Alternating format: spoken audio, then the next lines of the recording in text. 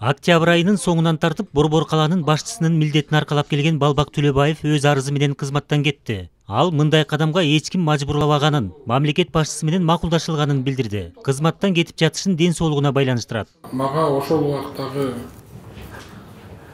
өкмөт башчысы жана президенттин милдетин аткаруучу садыр нуркожоевич мына шаардагы ызы чууну басып ушуну бир тартипке келтирип бериң бер барып иштеп бер деген үчүн келгенмин.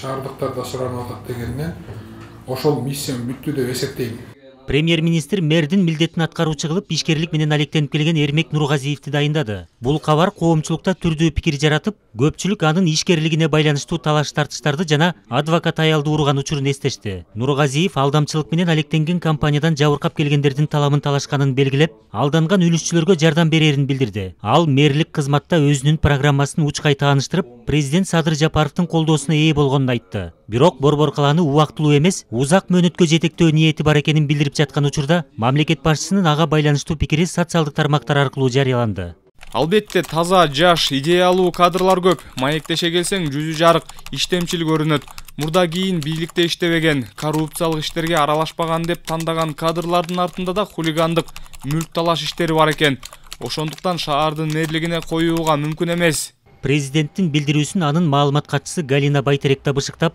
кийинки чечим премьер министрде экенин белгиледи мамлекет башчысынын пикиринен улам баш калааны ким жетектейт деген маселе кайрадан талкууга түштү калыгул асанбаев алмаз нурманбетов ала тоо төрт.